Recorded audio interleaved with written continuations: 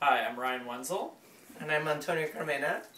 and we are here at the second installment of the Ballet Cookbook Dinner Series, where we are preparing the recipes of Diana Adams, who was a dancer with American Ballet Theater and later, uh, more famously, New York City Ballet. I believe she started dancing in the 40s and uh, sort of hit her peak with the company's company with uh, Agon in the 1950s and continued dancing until the 60s.